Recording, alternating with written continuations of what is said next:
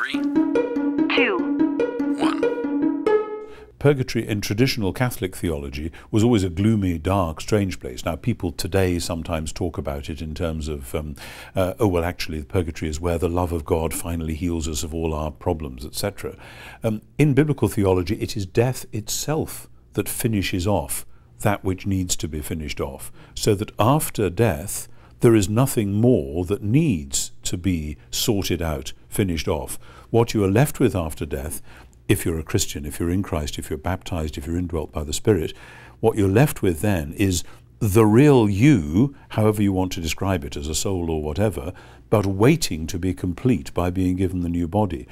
I think actually purgatory is a good metaphor for the sort of thing that being a Christian in the present is.